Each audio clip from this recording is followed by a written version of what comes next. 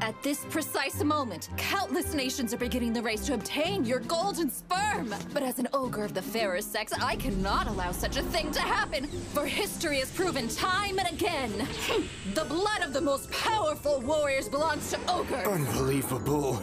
So come along, Peter Grill. I'm sure he gets the picture, so no need to put up a fight. Uh, uh, what the hell?